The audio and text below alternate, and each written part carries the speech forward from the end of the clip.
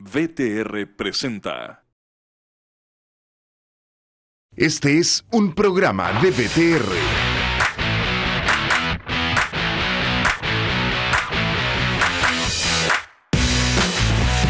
Estamos en tu ciudad. Miramos tu realidad. Panorama 15. La voz de las regiones.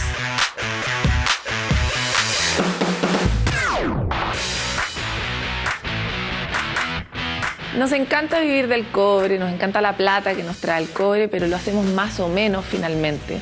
porque contaminamos? Porque nos cuesta mucho tener estudios de impacto ambiental que aseguren la salud de la población que rodea los yacimientos, los niveles de extracción o los de acopio. Sobre estos temas, sobre cómo hacemos para vivir del cobre pero vivir bien, queremos hablar hoy día otros problemas del norte que al final tienen un solo gran problema y es que no logramos descentralizar Chile todavía.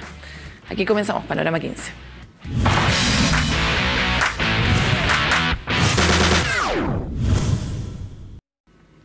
La contaminación por polimetales es un grave problema que se ha generado en más de una ocasión en Arica, usted lo ha visto en Panorama 15, y trae serias consecuencias en la salud de los afectados por su tardía detección. Pues bien, un laboratorio promete generar un cambio gracias a la tecnología ultra novedosa que permite detectar casos en un máximo de dos semanas y no meses, como ocurre actualmente y a veces es muy tarde. Mario Pena con el reporte.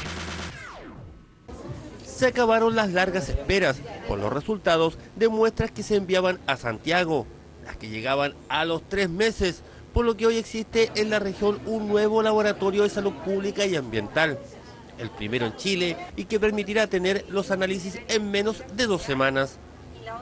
Los que se veían perjudicados eran las personas afectadas por los polimetales, los que retrasaban los tratamientos médicos. Pero no solo temas ambientales se realizarán en este laboratorio, sino que todo lo que sea solicitado por la autoridad de salud, como agua, juguetes, entre otras. Esta obra, este laboratorio, no solamente va a beneficiar y va a potenciar el trabajo que ya está haciendo la Seremi de Salud de nuestra región, sino que por sobre todo también atender la demanda de las familias que están afectadas por polimetales, en el sentido de no tener una espera tan larga en cuanto a lo que son los resultados de los exámenes que a ellos se les se realizan. El subsecretario de Salud Pública, Jaime Barrows, destacó que cuentan con implementación que otros laboratorios del país no tienen en él se pueden analizar metales, por lo que otras regiones podrán utilizar este laboratorio. En el laboratorio existen 15 personas trabajando, profesionales con doctorados en el extranjero, de los cuales 14 son ariqueños la compra y el equipamiento no es un, tema fácil porque requiere un tiempo tanto para la importación como también y sumamente importante para contar con los recursos humanos que puedan manejar los equipamientos. Y aquí no hay que olvidar que el laboratorio de salud ambiental de Arica tenía tres personas y hoy día tiene 15 profesionales de alto nivel e incluso con doctorados en el extranjero, trabajando eh, y disponiéndose para eh, hacer un servicio a la comunidad. En este lugar no se atenderá público, todo será a través de la Seremi de Salud, quienes envían las muestras para sus análisis. Esto tiene que ver, ¿no es cierto?, con una región que va a poder desarrollar su propio proceso en materia de, análisis, no hay que esperar, se va a hacer acá, en la misma región, yo creo que son, son no, es, no es solo hablar, no hay un discurso de centralización, no hay un discurso de cumplimiento, sino que hay una hora concreta, un proceso, ¿no es cierto?, largo sin duda, pero que hemos cumplido y creo que eso es lo más, importante para, para rescatar para la comunidad. Un nuevo avance en materia de salud tiene la región de Arica y Parinacota, el cual permitirá tener los resultados en menos tiempo y de la misma manera el tratamiento óptimo para aquellos vecinos de los industriales que se han visto afectados por polimetales. Mario Pena, Panorama 15. No nos acompaña mucho la salud, se habrá dado cuenta usted, pero le vamos a poner harto empeño. Así que luego de tres meses de negociaciones sale humo blanco en la SOFRI en cuanto a las tarifas que regirán esta zona comercial. Se espera que las buenas noticias sean traspasadas a los productos finales que llegan a los clientes. La promesa de una SOFRI más barata en la nota de Arturo Arevalo. En una entrevista telefónica, el presidente del directorio de Sofri S.A. mostró su satisfacción por el acuerdo alcanzado esta semana con las asociaciones de usuarios en materia de tarifas del sistema franco, lo que beneficiaría también a la comunidad. Bueno, tienen que verse beneficiados porque indudablemente eh, las tarifas que se están aplicando eh, se van a aplicar, digamos, son eh, menores que las que se estaban cobrando. En consecuencia, eso debería de alguna manera reflejarse en los precios.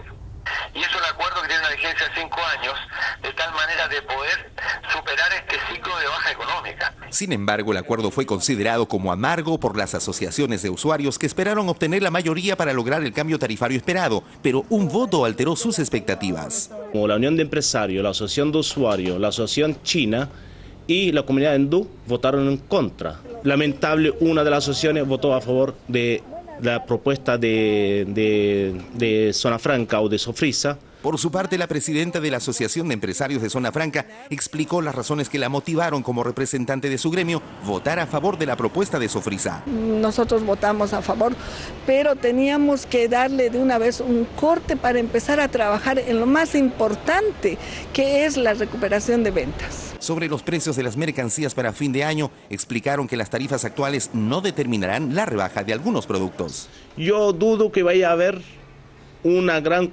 llegada de turistas a nuestra región. No tenemos vuelo y los precios van a bajar, por sí o sí van a bajar los precios. No porque se rebajó la tarifa, sino por atraer el turismo. Entonces se va a empezar el usuario a liquidar para poder hacer caja y pagar sueldos. Con este acuerdo se espera recuperar las pérdidas generadas en la paralización del pasado mes de junio, aunque existen otros puntos que se llevarán a una mesa de diálogo el próximo año. En Iquique, Arturo Arevalo, Panorama 15. Hace un tiempo atrás le contamos sobre la elección del grupo de personas que integrarían el gabinete regional del Maule que preparó el INJUF. Pues bien, hoy queremos actualizar la información para contarles que sus primeras actividades ya están ocurriendo, que tienen importante relevancia política y todo lo que tratan de lograr estos jóvenes organizados. Claudio Aguilar nos trae más. Con la finalidad de abrir oportunidades para los jóvenes es que se creó el Gabinete Juvenil y en el Maule ya tuvo su primera sesión en dependencia del Consejo Regional, ocasión en la que se determinó que no habrá una estructura regional para así mantener la paridad entre todos los integrantes. Son 15 sus miembros, la mayoría de ellos de la provincia de Curicó, donde hubo una mayor participación de los jóvenes en la elección de sus representantes. Son 10 los jóvenes del Maule Norte, 3 de Talca y 2 de Linares. Creemos que vamos a hacer un excelente trabajo con estos jóvenes que representan a sus pares y que también van a traer lo que es la realidad de, de las distintas comunas, de las distintas provincias y creemos que es una gran instancia y un gran ejercicio de participación y de democracia que estamos llevando a cabo. El primer acuerdo fue unánime, trabajar por lograr que las políticas de gobierno sean incluyentes y cercanas a los jóvenes buscarán representar los intereses de este sector que se ha visto desencantado de la política y para ello entregarán propuestas con la mirada crítica de los jóvenes sobre las políticas nacionales. Una oportunidad de servir a mi región, servir a los jóvenes de mi región en donde hay mucha necesidad en las cuatro provincias, somos la cuarta región más poblada de Chile y necesitamos una igualdad de oportunidades y vamos a trabajar para eso. El próximo 20 de noviembre se reunirá nuevamente, esta vez en Curicó, donde además sostendrán encuentros con organizaciones juveniles y así conocer sus necesidades. El compromiso que asumió este grupo es trabajar por implementar políticas juveniles que vayan en ayuda de todos. Lo que nosotros queremos hacer básicamente es fomentar la capacidad que hoy día los jóvenes tienen de articularse, de poder participar de procesos democráticos y también influir en que cada vez tengamos una mayor participación de los jóvenes en lo cívico, en lo ciudadano, en lo democrático. El 11 y 12 de diciembre se realizará una reunión con los 155 miembros del gabinete juvenil de todo el país. El objetivo es promover la interacción entre los participantes y potenciar la ejecución del gabinete. Claudia Aguilar, Miguel Gómez, Panorama 15. Llega la hora de revisar lo que nos traen los diarios ciudadanos de la red Mi Voz.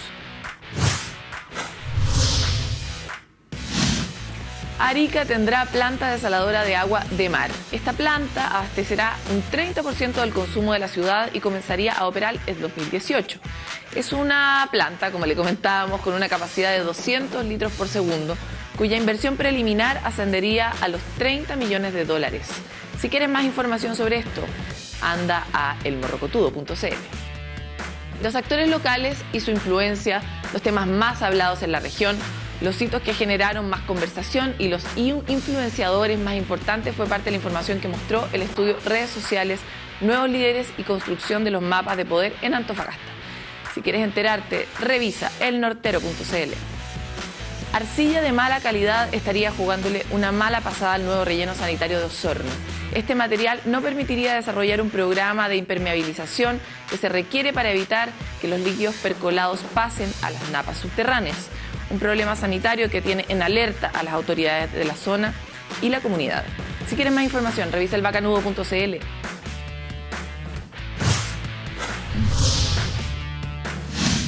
Nosotros vamos a una súper breve pausa y ya volvemos con mucho más de Panorama 15.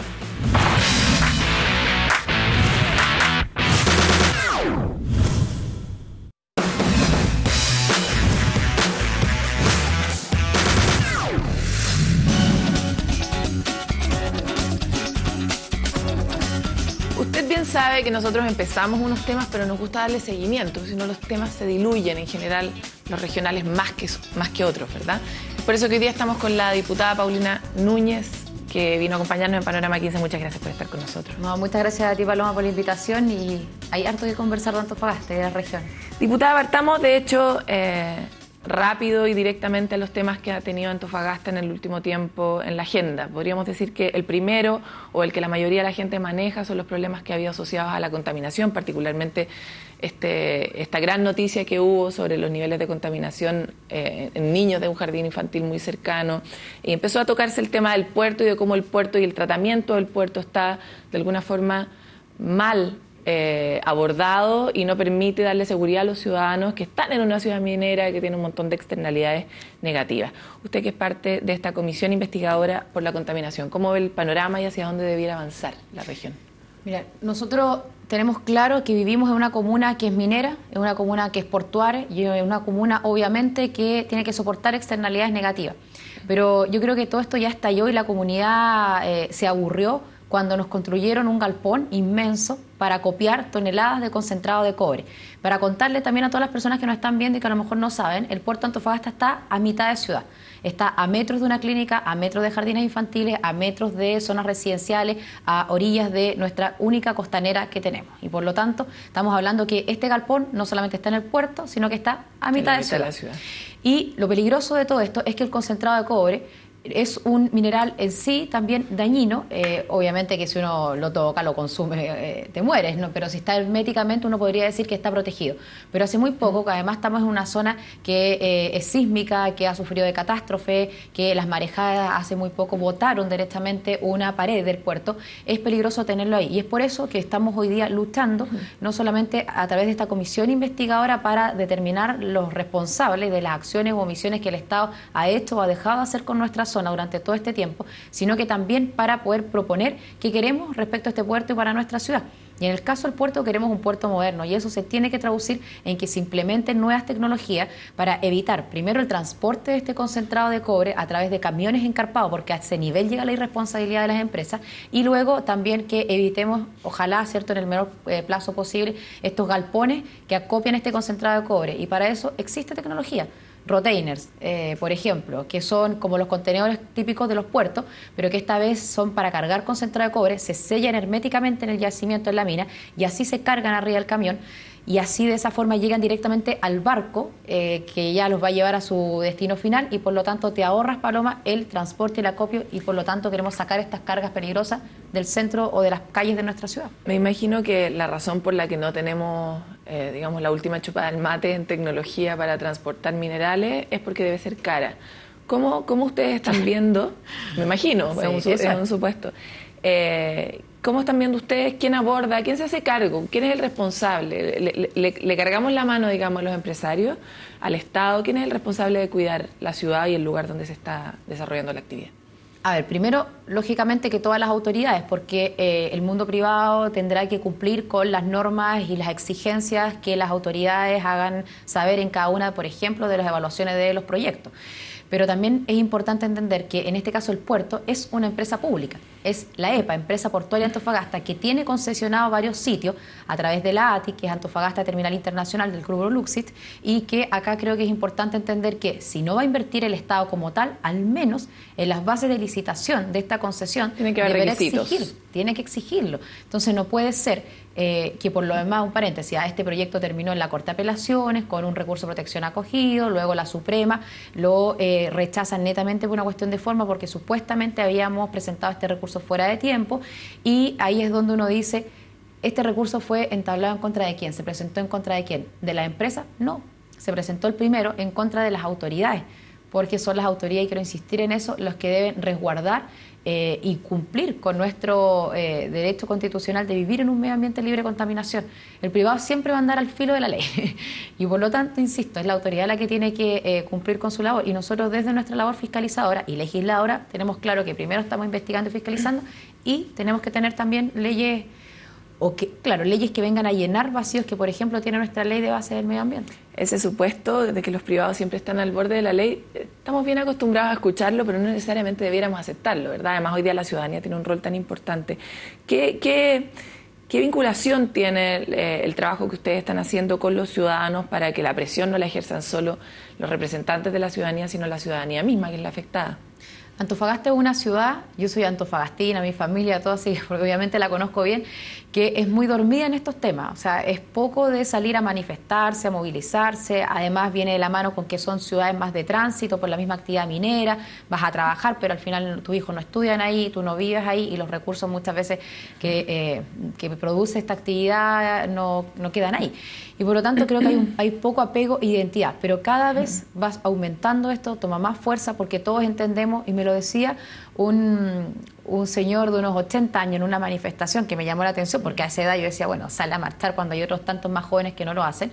Y me decía, diputada, yo ya viví la era del arsénico. Ya viví la era del plomo, que fue bien fuerte también hace décadas atrás en Antofagasta. Y no quiero que mis nietos vivan la era, la era del concentrado de cobre. Entonces, eh, hoy día creo que la comunidad está más firme, está organizada, está mm, con más información y por lo tanto está empoderada y está exigente. Y creo que ya llegó el momento de no exigirle eh, o no aguantarle más a la empresa solo con externalidades negativas y entendiendo todos ¿ah? que, insisto, estamos una comuna minera, una comuna portuaria, pero que hay tecnología. A lo mejor en la era del plomo no existía. Eh, pero hoy día hay. Hablábamos antes de la entrevista de que en muchas regiones el nivel de identidad es tal que incluso los colores políticos no terminan siendo la razón por la que la gente se articula. ¿Qué nivel de colaboración hay entre en general los representantes, diputados y senadores de la región que no, no pertenecen necesariamente al mismo sector, pero sí tienen los mismos problemas? Mucho. Es verdad, y más cuando los representantes son de tu zona, o sea, no, no son parlamentarios que han venido de Santiago, ¿cierto?, a ocupar eh, un cargo en la región, no. Y por eso, eh, en mi caso, nosotros somos dos diputadas, somos dos mujeres y hemos estado trabajando juntas, incluso firmando los proyectos de leyes en materia medioambiental y en materia de, fortalecer nuestra región para que así cada una haga su trabajo en sus distintas bancadas o en sus distintos sectores, porque Marcela Hernando, que es la otra diputada, ella es radical, yo soy de Renovación Nacional y por lo tanto tenemos que eh, operar eh, en cada una de nuestras bancadas para que estos proyectos se traduzcan en una ley para nuestra zona. Y con los senadores lo mismo, con el senador Alejandro Guille, que lo conversábamos cierto fuera de cámara, es un tremendo colaborador, eh, es su trabajo también, pero la labor de fiscalización eh, que estamos haciendo es propia de la Cámara, diputado, y por lo tanto en el Senado viene un apoyo más que, que un trabajo en conjunto o de instalar los proyectos, o de instalar los temas, así que estamos en la misma línea, por ejemplo, de que nadie quiera hacer desaparecer el puerto, pero sí de exigirle estas nuevas tecnologías. Diputada, vamos al siguiente tema, que es algo que nos encanta aquí en Panorama 15. Hemos hecho un seguimiento a la agenda de descentralización, una agenda que ha sido muy frenada. Eh, usted en, su región tiene muchos regionalistas empedernidos, a los que nosotros queremos mucho, eh, pero también en su sector, incluso, hay muchos muchos de quienes están frenando este proceso. O sea, eh, en, el mismo seminario donde la última vez nos encontramos, se, plantean estos, estos pánicos a la descentralización. ¿Cuál es su postura respecto de la descentralización? ¿Cuál es su mensaje para su propio sector respecto de, por qué sigue, siguen frenando el, el, proceso, verdad? No, y no es solamente para mi postura, nosotros ya tenemos un acuerdo dentro del Chile Vamos, incluso. Te cuento. Dentro de, Renovación Nacional, yo formo parte de la Mesa Nacional, soy eh, una de las vicepresidentas de la mesa y por lo tanto cuando llegamos a la mesa yo les dije, lo primero que me gustaría es impulsar los temas de regionalización y descentralización y que tengamos apoyo. Y por lo tanto formamos una comisión de descentralización dentro del partido que entregó una propuesta, en ese minuto se le hicimos llegar, la entregamos en la moneda al ex ministro Peneilío, que es ministro del Interior, y hoy día cuando ya eh, conformamos este conglomerado entre eh, la Unión Demócrata Independiente, Evópoli, el PRI y Renovación Nacional, ya conformamos nuestra comisión también de regionalización y descentralización. De hecho, invitamos, por ejemplo, al Teo Valenzuela, a Ricardo Cifuente, al propio partido a exponer cierto sus miradas y tenemos esta propuesta lista que no solo se la entregamos al hoy ministro Interior Jorge Burgo, a Ricardo Cifuente, que está encargado también de este proceso, sino que estamos trabajando en el avance de los proyectos de ley en eh, la Cámara. Entonces, lo que hicimos como conglomerado, porque obviamente que habrán diferencias, es llegar a mínimos comunes. Y esos mínimos comunes está, por ejemplo, la elección del intendente directa, elección elección directa de intendente y la figura del intendente en qué en qué versión, en la versión con gobernador o sin gobernador. Sin gobernador. sí, hay varias versiones. Sin gobernador primero. Pero segundo, si el propio gobierno, porque recordamos que mm. tienen la mayoría de los votos, si nosotros al final del día somos oposición y tenemos la minoría, en fin, pero mantiene la figura del gobernador, lo que queremos dejar en claro es que este intendente tiene que tener facultades y competencias fuertes y que obviamente vayan gradualmente, porque sabemos que es un proceso de aumentando en el tiempo. Y también los recursos, que es vital. O sea, aunque incluso tengamos un intendente sin gobernador regional, no sacamos nada si no lo empoderamos con recursos frescos de libre disposición y no solo con un aumento del FNR. ¿Y de dónde se imaginan ustedes que viene esa plata? Tributo.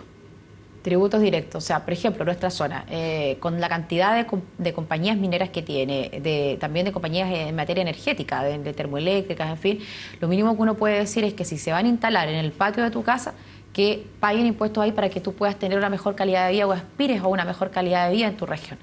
Así que impuesto o descentralización tributaria, mejor dicho. Y también creo que es importante para aquellas regiones que nos están viendo, que nos están escuchando, que no tienen estas grandes compañías, que estamos también presentando un fondo de convergencia para que se vayan recursos a esas zonas directamente de los tributos.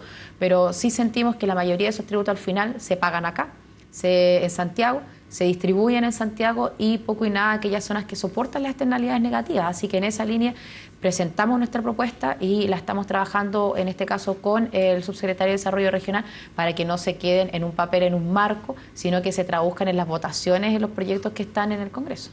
¿Cómo ve usted la perspectiva? Porque nosotros estamos en la somos grandes entusiastas, pero igual estamos en la zona de los desesperanzados, digamos, porque iniciamos un proceso como caballo de batalla, o sea, el 7 de octubre del año pasado estábamos con un gran anuncio, con un montón de las medidas que usted misma está recogiendo, en un informe que se, presentó a la, a la presidenta, se mandó el proyecto de elección directa a intendente eh, transferencia de competencias, pero ahí hasta ahí llegamos, ¿verdad?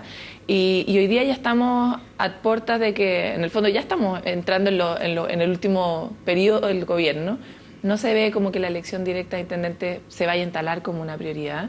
Eh, en el fondo, el panorama es medio sombrío. ¿Cuál es su perspectiva y, qué, y dónde, dónde haría usted la jugada si pudiera? Lograr un acuerdo con el gobierno. Yo creo que eso es vital y que ese acuerdo se traduzca en que estos proyectos el, el Ejecutivo le ponga urgencia no tienen urgencia y por lo tanto si han ido avanzando, han ido avanzando gracias a la buena voluntad de eh, los presidentes de las comisiones de gobierno de la Cámara y el Senado. De hecho, nosotros tenemos en el Senado al senador Alberto Espina, el presidente de esa comisión, y obviamente a los eh, a la estrategia y a los acuerdos que cada uno de nosotros ha tenido que impulsar desde sus partidos. En todos los sectores, yo me atrevería a decir que el propio gobierno al principio no estaba muy convencido de este tema y de eso se traduce en eso, en la no urgencia en estos proyectos y también en priorizar otros temas que, que uno los ve con tanto impulso por parte del Ejecutivo, todas estas reformas estructurales que hemos conocido, incluso de sistemas electorales, tributarias, obviamente educación, en fin, y no de un tema que no solo fue un compromiso de campaña, eh, de los muy recordados, sino que también hoy día estamos esperando desde las regiones que se produzca eh, eh, y se traduzcan en leyes.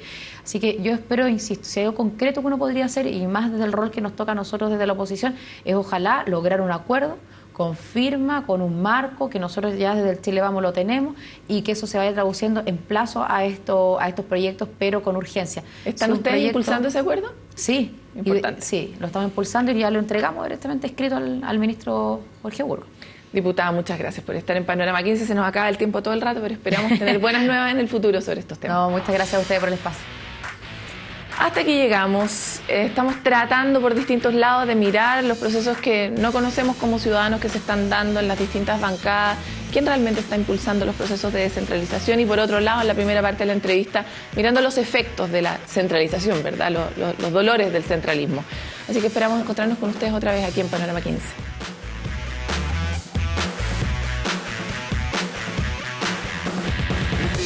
Presentó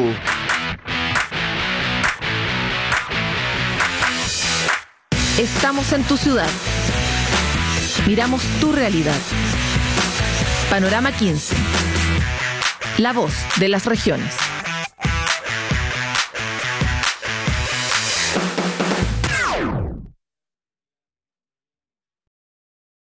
Esta fue una presentación de BTR.